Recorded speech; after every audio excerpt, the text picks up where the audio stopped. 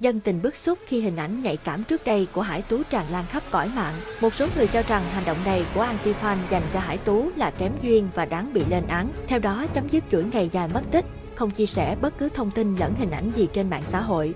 Mới đây, vào đúng dịp sinh nhật lần thứ 24 của mình, Hải Tú bất ngờ quay trở lại đăng tải loạt ảnh mới. Đây là động thái đầu tiên từ phía nữ diễn viên sau 10 tháng ẩn vì ồn ào trà xanh. Có điều, ngay lập tức nhiều người nhận ra Hải Tú đã công khai diện đồ đôi với Sơn Tùng cho thấy giữa cô và Sơn Tùng có một mối quan hệ khá đặc biệt. Nhiều khán giả hâm mộ Sơn Tùng tin rằng việc anh diện đầu đôi với Hải Tú là ngầm khẳng định mối quan hệ tình cảm đặc biệt giữa cả hai. Tuy mọi đồn đoán chỉ thuộc về phía dân mạng, nhưng mới đây, một số người đã bày tỏ sự bức xúc khi trang cá nhân của Hải Tú lẫn Sơn Tùng đều bị tấn công bởi những hình ảnh khiếm nhã. Cụ thể, một vài anti-fan đã đăng tải loạt ảnh nhạy cảm của Hải Tú trước đây khi cô nàng tạo dáng với tư thế gợi cảm.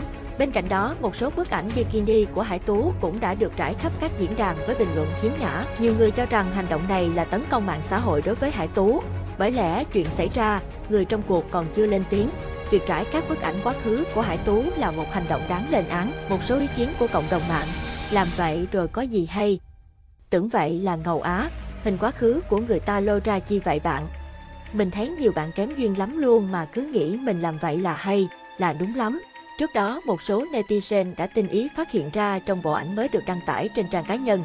Hải Tú có đội chiếc mũ lưỡi trai có in logo khá giống với chiếc mà Sơn Tùng MTV dùng đội trước đó. Chưa dừng lại ở đó, dân tình còn phát hiện đôi giày mà Hải Tú mang cũng giống y hệt đôi giày mà Sơn Tùng từng đi và chụp ảnh cùng em trai cách đây không lâu. Ngoài ra, cư dân mạng cũng so được chi tiết giống giống là chiếc đồng hồ của Hải Tú và Sơn Tùng cũng như hệt nhau. Đây không phải là lần đầu tiên công chúng phát hiện Hải Tú công khai diện đồ đôi với chủ tịch Sơn Tùng. Có lẽ đây là một trong những động thái tiếp theo đánh dấu sự quay trở lại showbiz của gà cưng Sơn Tùng.